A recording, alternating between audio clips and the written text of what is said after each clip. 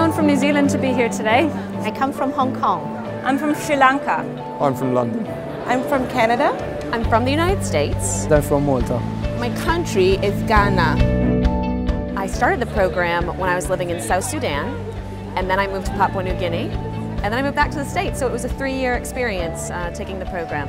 I think the best thing about studying with the University of London is the independence that you're given. Having the freedom to do things my way was brilliant. I've been doing the program sort of full-time while working full-time and having my family as well, so it allowed me the flexibility to do both. I think the advice I'd give to somebody considering distance learning is A, definitely do it, and B, plan your time carefully, spread it out if you need to.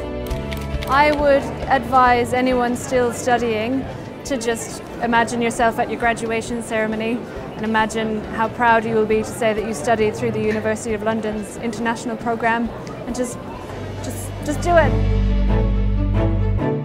It feels really good to have reached graduation. It feels like a couple of years of hard work have paid off and I'll finally get my qualification. It's really exciting. So many people from all over the world and we can, you know, network with them. Oh, I couldn't have missed this for anything. Yes, yes.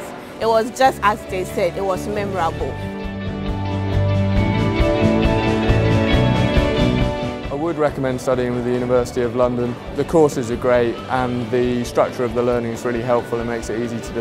I have actually um, sort of encouraged my husband to take on the same program, so he's already registered uh, with the LLB. He should be doing his exams shortly. The University of London carries a very good reputation and is also a well-known name of educational institution in Hong Kong and in Asia. I'm sure I'll have no problem getting a job using this degree. I feel part of a global connection between different countries, so it's uh, very international and very exciting for me. It's, it's worth it. The degree that you get, the experience that you get, is always the challenge that you see. So many people who are Nobel Prize winners have the University of London, so it's an honor. It feels good and I feel proud to be a part of this organisation.